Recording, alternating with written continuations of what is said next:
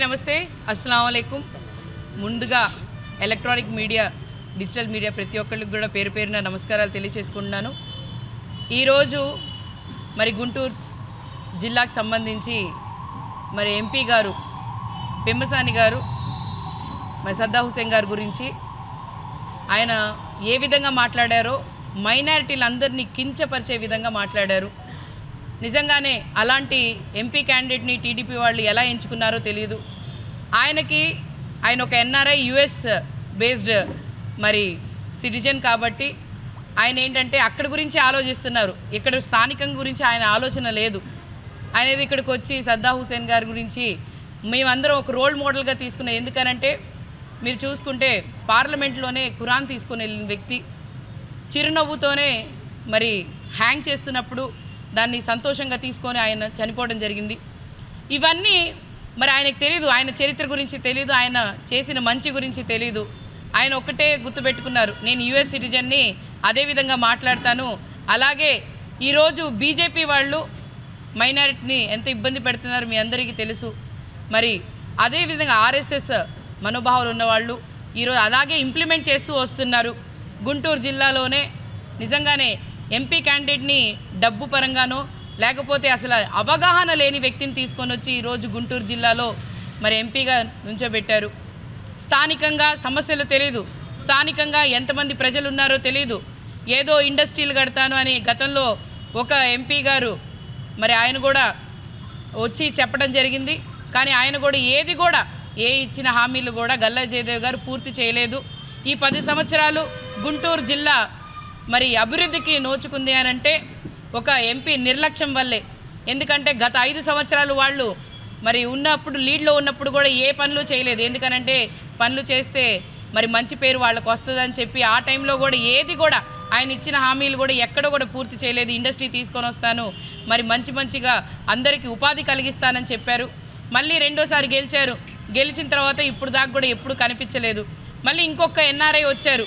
వచ్చి నేను స్కూళ్ళు కడతాను హాస్పిటల్ కడతాను అని చెప్తున్నారు. నాకు తెలిసి వీణ ప్రైవేట్ స్కూళ్ళు ప్రైవేట్ హాస్పిటల్ కట్టి దాని ద్వారా ఇన్కమ్ సంపాదించడం తప్ప ప్రజలకు అసలు ఏం కావాలో తెలీదు. స్కూల్లో హాస్పిటల్ అంటారా? మా నాయకుడు జగన్మోహన్ రెడ్డి గారు అయితే మరి అంతా చేసి చూయించారు. నాడు నేడు వల్ల గవర్నమెంట్ స్కూల్స్ డెవలప్మెంట్ కానీ ప్రతి ఒక్కటి చేశారు.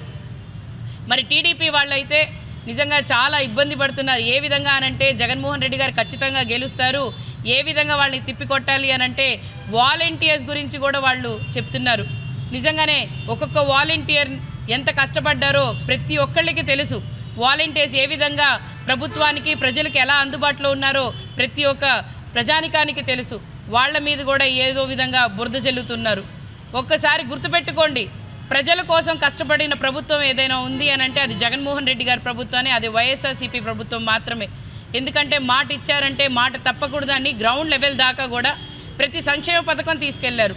కష్టకాలమైన కరోనాలో కూడా మీరు చూసుకుంటే ఒకవేళ జగనన్న వాలంటీర్ సంస్థ లేకపోయి ఉంటే నిజంగానే ఎంతోమంది మరి పూర్ పీపుల్ కానీ ఎంతోమంది ఇబ్బంది పడేవాళ్ళు. వాళ్ళ ఇంటికి రేషన్ పెన్షన్ అందించగలిగాము అని అంటే జగన్మోహన్ రెడ్డి గారి ప్రభుత్వం ఉండవల్లే వాళ్ళకి అన్ని వాలంటీర్స్ ఉండడం వల్లే అన్నీ చేసావు మరి ఇవన్నీ ప్రతి ఒక్కళ్ళు కూడా గుర్తుపెట్టుకోవాలి.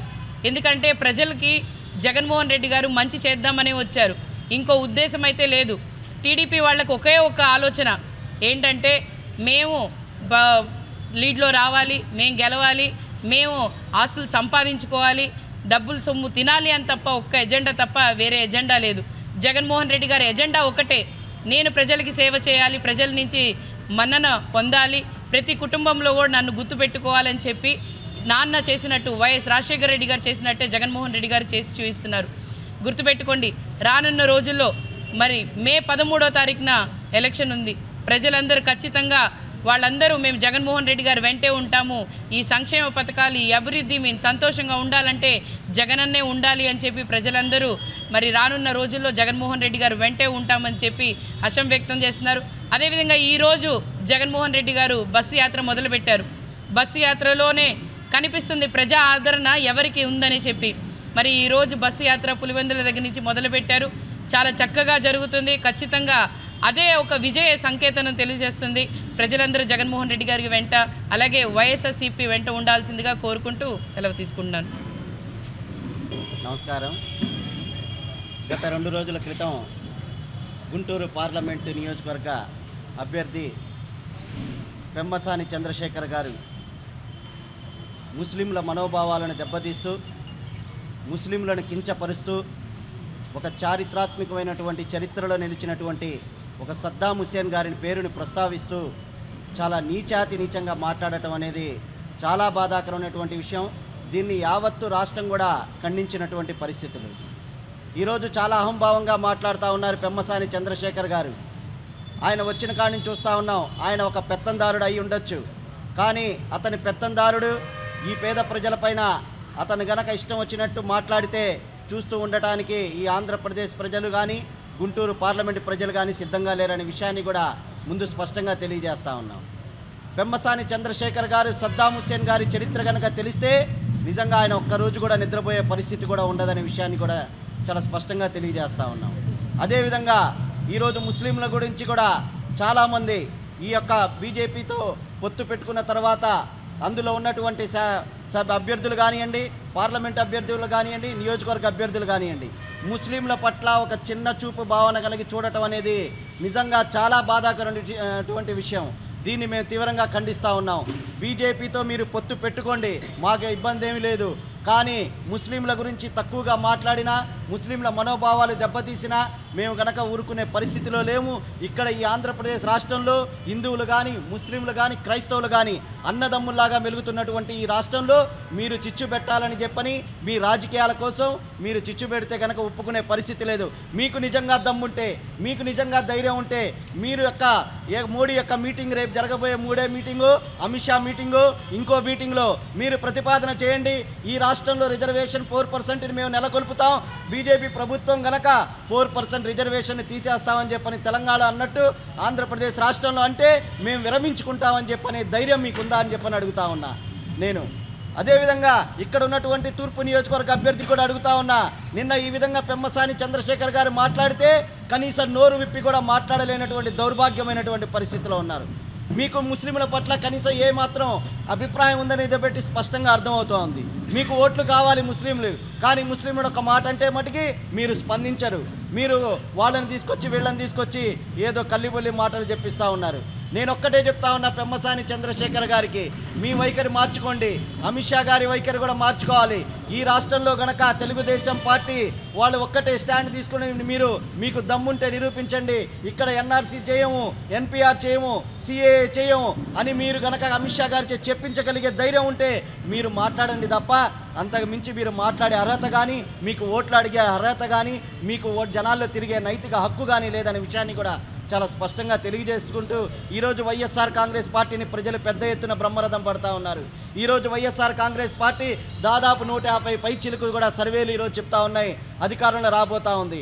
ఈరోజు మీకు ఒక్కటే చెప్తా ఉన్నా ప్రభుత్వం పెత్తందారులు మీరందరూ ఒకవైపు ఉన్నా కూడా ఈ పేదవారి ప్రభుత్వం వైపు నిలిచినటువంటి వైఎస్ఆర్ కాంగ్రెస్ పార్టీ కంచు కోటలు కూడా బద్దలు కొట్టే ధైర్యం ఎవరికి లేదు. తిరిగి గుంటూరు తూర్పు నియోజకవర్గం మొదలుపెట్టి ఈరోజు యావత్తు రాష్ట్రంలో కూడా వైఎస్ఆర్ కాంగ్రెస్ పార్టీ విజయకేతనం ఎగరవేస్తా ఉందనే విషయాన్ని కూడా చాలా స్పష్టంగా తెలియజేసుకుంటూ ఈ మరొక్కసారి పెమ్మసాని చంద్రశేఖర్ గారికి కూడా ఇంకోసారి చెప్తా ఉన్నాం మీరు ఇట్లాంటి మాటలు కానీ ఇంకోసారి కానీ మాట్లాడితే పార్లమెంటు నుంచి మీకు తరిమేసే పరిస్థితులు కూడా చాలా దగ్గరలోనే ఉన్నాయనే విషయాన్ని కూడా చాలా స్పష్టంగా తెలియజేస్తాం.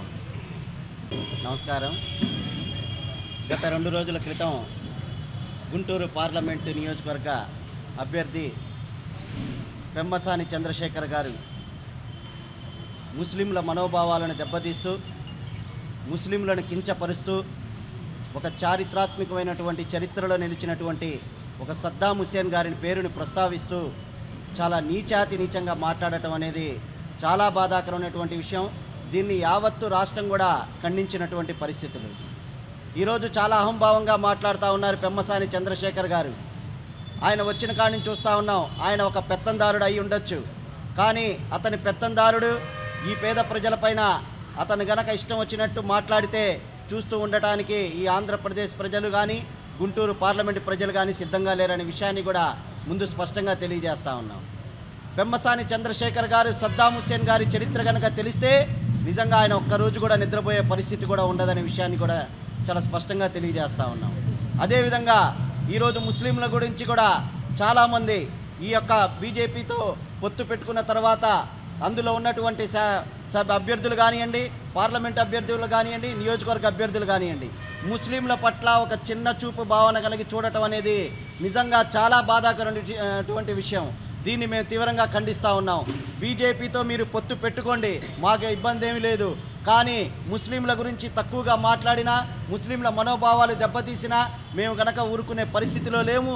ఇక్కడ ఈ ఆంధ్రప్రదేశ్ రాష్ట్రంలో హిందువులు కానీ ముస్లింలు కానీ క్రైస్తవులు కానీ అన్నదమ్ముల్లాగా మెలుగుతున్నటువంటి ఈ రాష్ట్రంలో మీరు చిచ్చు పెట్టాలని చెప్పని మీ రాజకీయాల కోసం మీరు చిచ్చు పెడితే కనుక ఒప్పుకునే పరిస్థితి లేదు. మీకు నిజంగా దమ్ముంటే మీకు నిజంగా ధైర్యం ఉంటే మీరు యొక్క ఏ మోడీ యొక్క మీటింగ్ రేపు జరగబోయే మూడే మీటింగు అమిత్ షా మీటింగు ఇంకో మీటింగ్లో మీరు ప్రతిపాదన చేయండి. ఈ రాష్ట్రంలో రిజర్వేషన్ ఫోర్ పర్సెంట్ని మేము నెలకొల్పుతాం.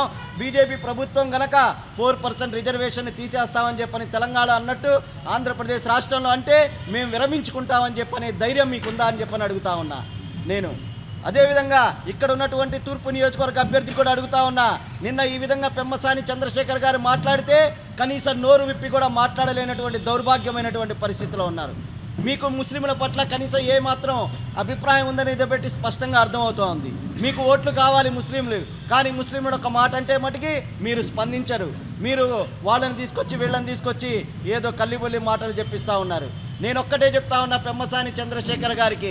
మీ వైఖరి మార్చుకోండి. అమిత్ షా గారి వైఖరి కూడా మార్చుకోవాలి.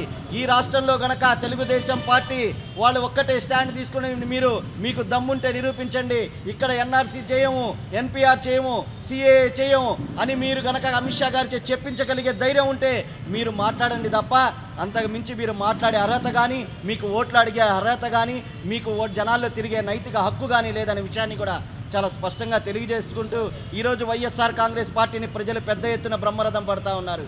ఈరోజు వైఎస్ఆర్ కాంగ్రెస్ పార్టీ దాదాపు నూట యాభై పైచిలకు కూడా సర్వేలు ఈరోజు చెప్తా ఉన్నాయి. అధికారంలో రాబోతా ఉంది. ఈరోజు మీకు ఒక్కటే చెప్తా ఉన్నా ప్రభుత్వం పెత్తందారులు మీరందరూ ఒకవైపు ఉన్నా కూడా ఈ పేదవారి ప్రభుత్వం వైపు నిలిచినటువంటి వైఎస్ఆర్ కాంగ్రెస్ పార్టీ కంచు కోటలు కూడా బద్దలు కొట్టే ధైర్యం ఎవరికి లేదు. తిరిగి గుంటూరు తూర్పు నియోజకవర్గం మొదలుపెట్టి ఈరోజు యావత్తు రాష్ట్రంలో కూడా వైఎస్ఆర్ కాంగ్రెస్ పార్టీ విజయకేతనం ఎగరవేస్తా ఉందనే విషయాన్ని కూడా చాలా స్పష్టంగా తెలియజేసుకుంటూ ఈ మరొక్కసారి పెమ్మసాని చంద్రశేఖర్ గారికి కూడా ఇంకోసారి చెప్తా ఉన్నాం మీరు ఇట్లాంటి మాటలు కానీ ఇంకోసారి కానీ మాట్లాడితే పార్లమెంటు నుంచి మీకు తరిమేసే పరిస్థితులు కూడా చాలా దగ్గరలోనే ఉన్నాయనే విషయాన్ని కూడా చాలా స్పష్టంగా తెలియజేస్తాం.